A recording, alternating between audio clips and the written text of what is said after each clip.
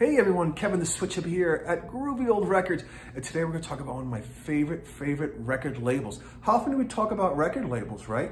I love the Starday record label. And the Starday record label, they, they are from Texas, right? And in the 50s, 60s, and even into the 70s, they, they made a lot of old hillbilly records. They, that's what their specialty was, hillbilly, rockabilly, bluegrass, you know, that kind of, that kind of uh, old-timey, I don't know, would you call it old-timey? Back then you wouldn't, but it's that kind of music they specialized in. And they have, they have an absolutely wonderful catalog. And, and the story's interesting too with Starday. So the, it was founded by Pappy Daily in, in 1952. And, um, you know, his goal, one of the things that he did is he recognized that people who listen to this music, hillbilly music, they didn't buy 45s, right? That was kind of a rock and roll thing. They bought albums. And what he did is that him and this company started, they just cranked them out. And they're good. They are good records. I like the Starday records. I like their catalog. I like the, the quality of the sound too with the Starday records. And then um, I think in 1968, they bought King Records, right? King was another country hillbilly record label. And then Starday bought them, and so I have several uh, King albums. And then, of course, Starday is, is later bought by Gusto Records, I think in the 70s. And then the Gusto Records, they re-released the whole uh, catalog, right, under the Starday Gusto record label. So anyways, that's kind of the story. I don't know what they're doing today. I maybe you think I would have looked that up, right? Are still around? I assume that there's no Starday Records anymore. It's a shame. It was a beautiful company, beautiful records. So I'm going to go then. I'm going to go through my list here by by labels. So this is um, so Justin Tubb, right? And this is the this is the Starday label. So can we see that? So that's the that's the original uh, Starday record label. So I've got on that I've got uh, Justin Tubb, and I've got um, Cowboy Copas, and who doesn't love Cowboy Copas? He's awesome. And you see he's got that, um, the, the that's the kind of the first Starday record label. And I got this one here is, uh, here's another Cowboy Copas at the, the Grand at the Grand Ole Opry, and it's high fidelity. These are all mono records. Sorry, high fidelity. and then the next group I have are these ones over here. These are, um, these are kind of the more modern Star, Starday levels, labels. Um, you can see they've got the Eagle up there, and this is uh, Dottie West and uh, Melba Montgomery, uh, Queens of Country Music. It's a good record. It's a good record. It sounds good too.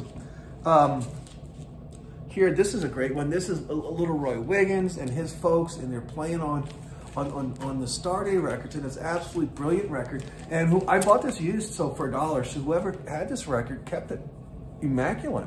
This absolutely sounds brilliant, brilliant. And again, too, this, this is high fidelity. It's not, we're not into the stereo world yet. And that's a Little Wiggins. This is a great album, too. And then this other one here is, oh, Red Sovine, Giddy Up, Giddy, Giddy, Giddy Up Go. And we all know Red Sovine was a, a famous uh, country singer, right? And here, that's the label for that one.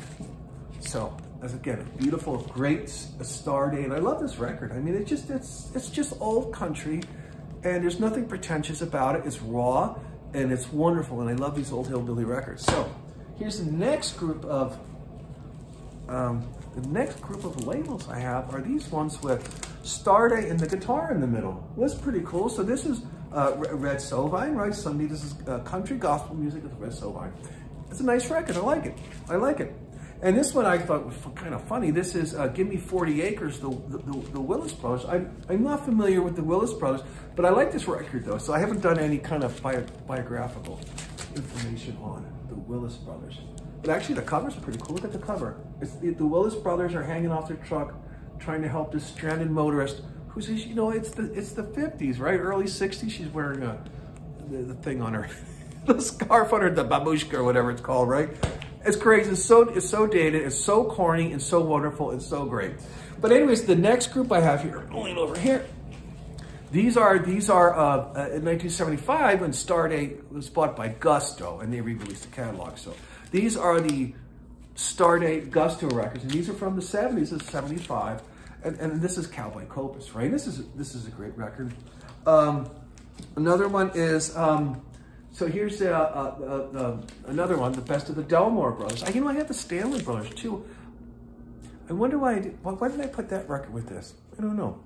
Let me go back in my catalog and see where it is. Again, another great, and this is the Starday Gusto. Starday Gusto record label. So absolutely brilliant. If you guys happen to find, if you love Hillbilly records, if you're like me, the Switch Hippie loves the Hillbilly records, right? Um, look for anything on Starday, Starday Gusto, Starday King, even get a, a King records or two. I've got a, some of those. And it's just, it's like, it's just fun, interesting, well played, very raw sounding old hillbilly records. And if, if that's what it is, I'm there. Anyways, this is the Switch Hippie. I'll see you guys on our next episode of uh, uh, Rescue from the Bargain Bin whenever I whenever I go uh, dump, uh, dumpster diving again. Of course, the problem is I've got so many records. I'm trying to clean them up, you know, and I'm really behind. So before I go, uh, before I go to the bargain bin and get off the, get, get rid of the crap that I have, right? Anyways, we'll see you guys next time. Talk to you later.